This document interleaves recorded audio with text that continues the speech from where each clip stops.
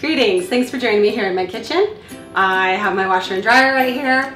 I'm gonna dye some old clothing. So I have my little trusty bottle of navy blue clothing dye by Rit. I'm gonna show you everything that I'm about to dye. Fingers crossed, I hope this works. My Free People sweatshirt. I love all the details of this sweatshirt. I'd, I'd call this oatmeal. I'm gonna attempt to make it navy blue because as its current color, I never wear it. Something else from Free People. Abercrombie and Fitch skirt, old ratty tank top. I think bleach got spilled on that. So I'm gonna just dye the whole thing navy. This is one of my exercise tank tops. Free People pants. I think I'd wear these more often if they were navy. This is a pair of navy tapered button on the ankle pants from Abercrombie and Fitch. These need to be re-dyed back to navy because right now they're a very faded blue. Another old worn out navy tank top that just needs to be dyed back to navy. Look at my munchkin sweater, so cute. Fingers crossed, wish me luck. There's the navy clothing dye doing its thing.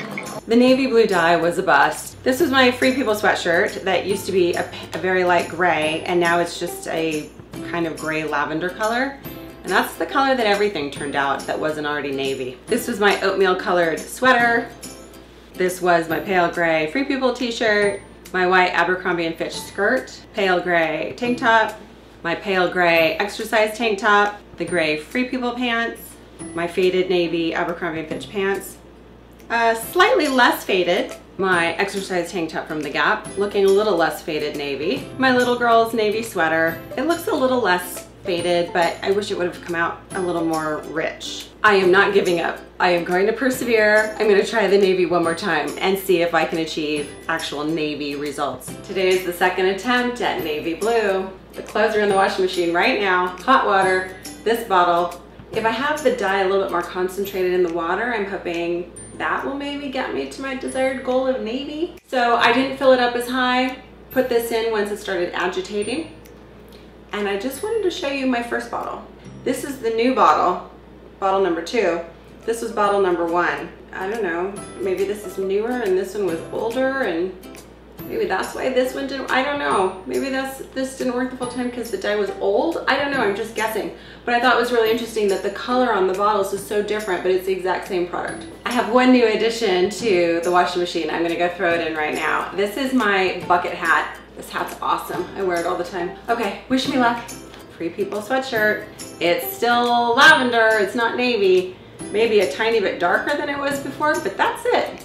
Same with my Free People t-shirt, still lavender. Abercrombie and Fitch skirt, used to be white, still lavender. My Free People pants, I think they're a little darker now, but still far from navy. In my opinion, the best use for Rit navy clothing dye. Clothing that was already navy to begin with, like this tank top. It was already navy, I just wanted to darken it up and freshen it up a little bit, and that worked. Same with my Abercrombie and Fitch pants.